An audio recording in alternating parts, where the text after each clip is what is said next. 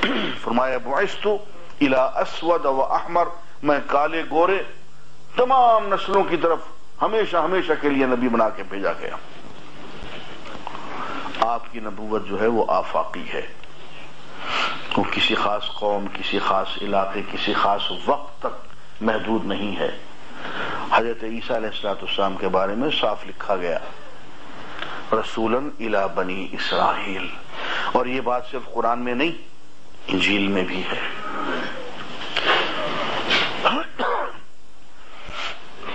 और ये कि हज़रत ईसा जब आएँगे तो वो यूँ कहेंगे तो उनका ये मकाम होगा कि अन्नी कद जी तुकुम भी आयतिम में रबिकुम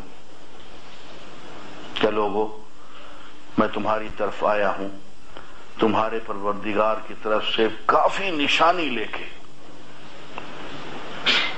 इन्नी अन्नी अखलुकुलकुम मिनतीन का हई अति तैर मैं तुम्हारे सामने काम करता हूँ, देखो। मैं काम करता हूँ, देखो। मट्टी से एक परिंदे का धड़ बनाता हूँ। बच्चे नहीं बनाते? मट्टी से जानवरों की शक्लें बनाते हैं। तो से देखो मट्टी से मैं एक परिंदे का धड़ बनाता हूँ। फान फुफी है तो इसमें मैं फूंक मारता हूँ। तुम्हारे सामने। फयकून तैरम भी इजनिल्ला अल्लाह के हुक्म से ये जीता जागता उड़ता हुआ परिंदा तुम्हारे सामने बन जाएगा।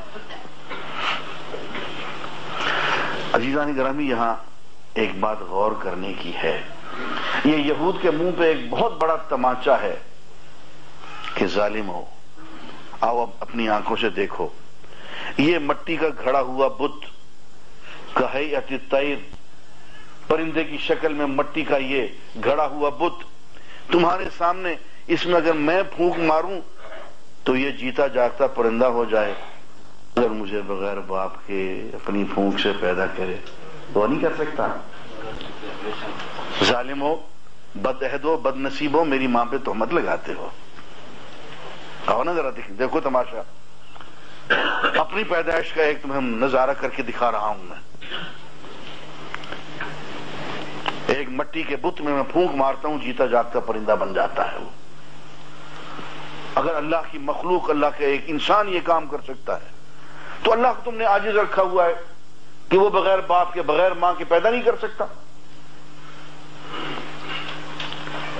कितने बदनसीब हो? तुम ये समझते हो कि अल्लाह ने एक मर्त में हमें मौत दे दी तो मौत के बाद दोबारा ज़िंदगी नहीं दे सकता।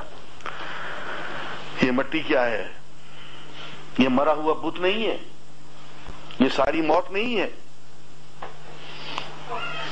इस धड़ में अगर मैं फूक मार के इसको ज़िंदा कर सकता हूँ तो अल्लाह हमें दोबारा ज़िंदा नहीं कर सकता। इन मोजिजों से अल्लाह ताला ने, हज़रत ईसा इस्लाम ने लोगों को सिखा फरमाया कि देखो, ये सब कुछ जो हो रहा है, ये मेरी ताकत से नहीं हो रहा है। ये अल्लाह के अमर से हो रहा है। अल्लाह की इजाज़त है कि मैं तुम्हें ऐसा करके दिखा दूँ तो हो रहा है। उसका इज्न, उसका अमर दरमियान में अगर ना हो तो कुछ नहीं होगा। यहाँ एक बड़ी अहम बात यह है कि इंजील में बेजनल्ला के अल्फाज अब नहीं मिलते। लेकिन बाज रिवायतों से पता चलता है कि शुरू शुरू में थे। लेकिन बाद में चूँकि हज़रत ईसीम की उलूहियत और उनकी खुदाई का चूँकि दावा करना था, उन्हें खुदा के बेटे के मनसब बनाना था तो जगह जगह बेजनिल्ला के अल्फाज अच्छे नहीं लग रहे थे। काट दिए।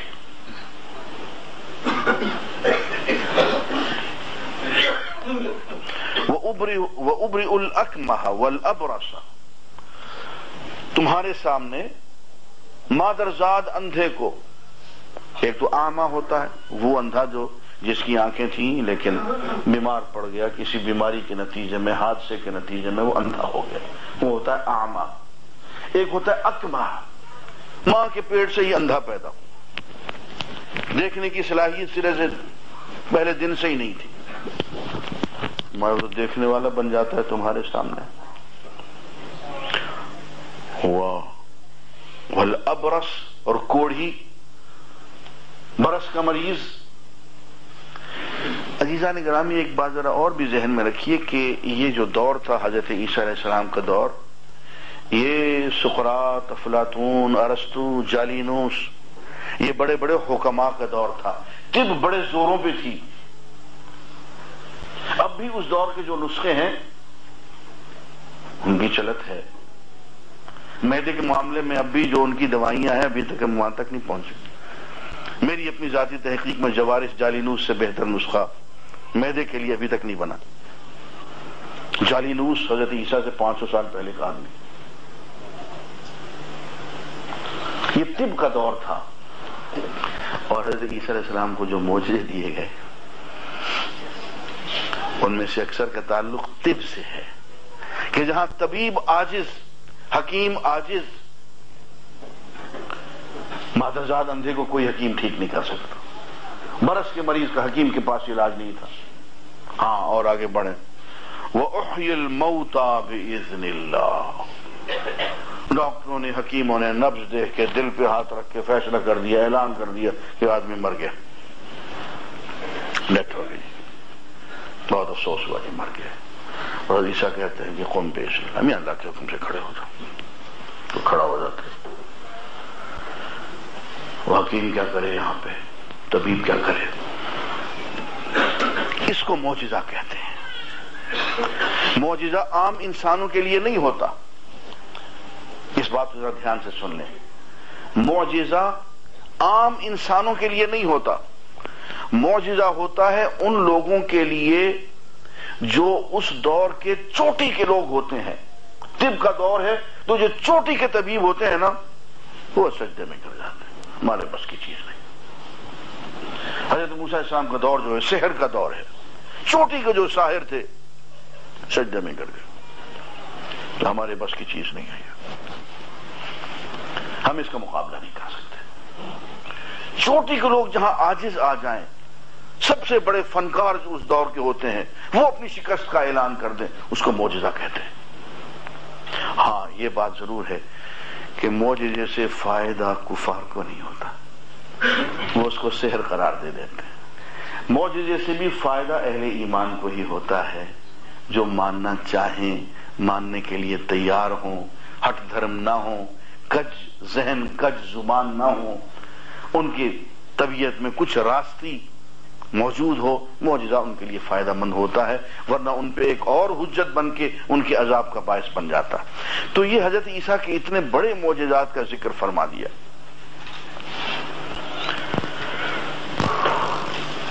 और बात यह है, उलमा ने एक बहुत खूबसूरत बात कही है कि असल में हो ये रहा था हाँ आगे भी मोजात और बयान हो रहे हैं। पहले मैं बयान कर लूँ, फिर आता हूँ। उनबी बिमा वमा तदखिरून और मैं घर बैठे तुम्हें बता देता हूँ कि तुम क्या खा रहे हो अपने घर में, क्या तुमने हंडिया पका रखी है। वमा तदखिरून, और तुमने क्या जमा कर रखा है अपने पास पूंजी? तुम्हारी तिजोरियों में क्या रखा हुआ है? मैं तुम्हें बता देता हूँ।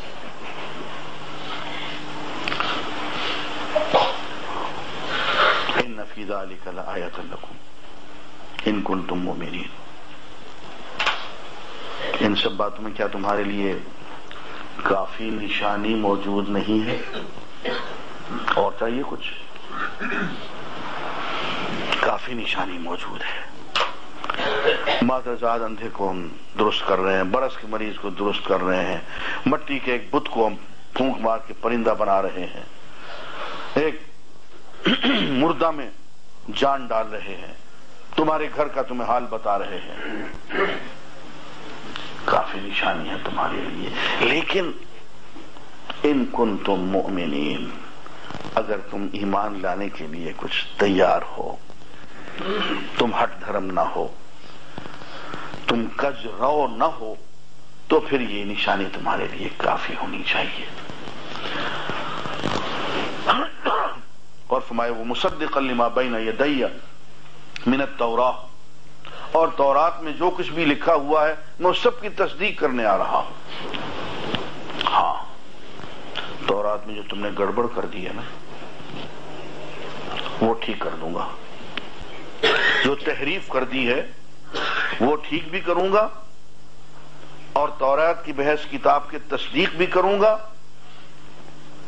और तौरात में मेरे बारे में जो पेशगोइयाँ आई हैं, मैं उनका मिसाक भी बन के तुम्हें दिखाऊँगा।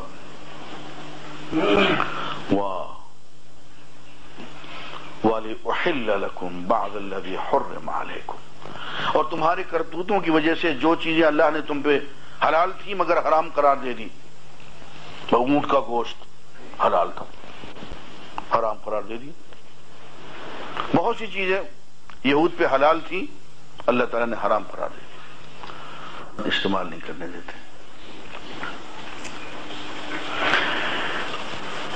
शरण हराम करार दे देते हैं। एक अजाब ये होता है कि नेमत वैसी छीन लेते हैं। एक अजाब ये होता है कि नेमत सामने रखी हुई है, इस्तेमाल नहीं करने देते। ये अजाब भी हमने अपनी आँखों से देखा। जायदाद पड़ी हुई है, मकान, ज़मीन, बहुत बड़ी प्रॉपर्टी पड़ी हुई है। ऐसे हालात पैदा होते हैं कि आप उससे एक धेले का फ़ायदा नहीं उठा सकते। पड़ी हुई है पड़ी हुई बेच के दिखाओ। उसको इस्तेमाल करके उसकी कोई मोबिलिटी, कोई उसकी यूटिलिटी, कुछ नहीं। और हम इसी दौर से गुजर रहे हैं। जमीनें रखी हुई हैं, मकान रखे हुए हैं, प्लॉट रखे हुए हैं। और घर में खर्चा पूरा करने को आज है। ये भी हो जाता है। ये अल्लाह का अजाब होता है। फरमाया कि, उमन आरदान ज़िक्र जो मेरी याद से, मेरे कुरान से, मेरे पैगाम से मुँह मोड़ लेगा।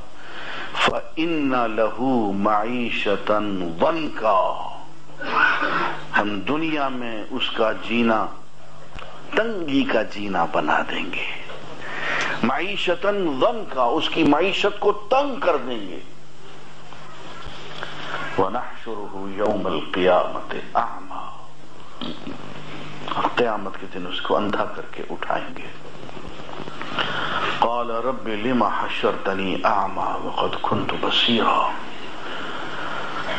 कहेगा, मेरे परवरदिगार मुझे अंधा करके क्यों उठाया? मैं तो देखने वालों में से था। आँखें थी मेरी। काल का, अतत का आयात होना। अल्लाह ताला फरमाएँगे कि बात यह है कि हमारी आयतें तुझ तक पहुँच चुकी थी। फनसी तहा तूने उन्हें भुलाए रखा। वह कजाली कल यौमा तुनसा। और इसी तरह से आज तुझे भी भुला दिया जाएगा। ये तो आखिरत में होगा। दुनिया में माईशतन दम का, तंगी की माईशत है और ना होने के बराबर। कर्जों का बोझ, दुनिया जहान के प्रेशर्स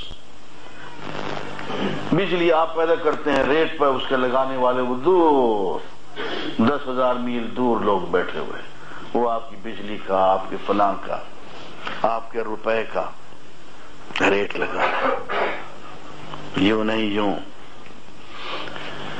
ये अल्लाह का अजाब होता है। यहूद पे भी अल्लाह का अजाब ऐसे आया। बहुत सी चीज़ें जो हलाल थी, जो उनका हक था, अल्लाह ने उनसे वो हक ले लिया। और मैं ये कहने में कोई बात महसूस नहीं करता कि जो अजाब यहूद पे आया था।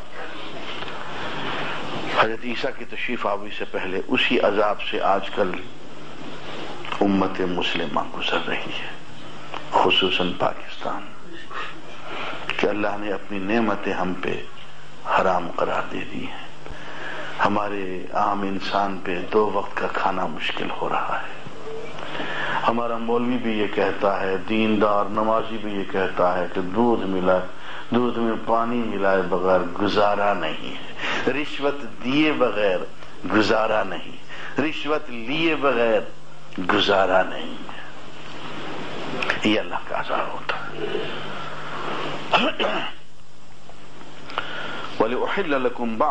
हुर्रम अलैकुम जो चीज़ें तुम पे हराम करार दे दी गई थी तुम्हारे गुनाहों और बदकिरदारियों की वजह से फिर से मैं हलाल करार देने आया हूँ वजी तो कुंभ आया तुम रबिकुम और मैं तुम्हारे पास आया हूँ अल्लाह की बहुत खुली निशानी लेके फतकुल्ला अल्लाह का तकवा इख्तियार करो। वह अतीऊन और मेरी इतात करो।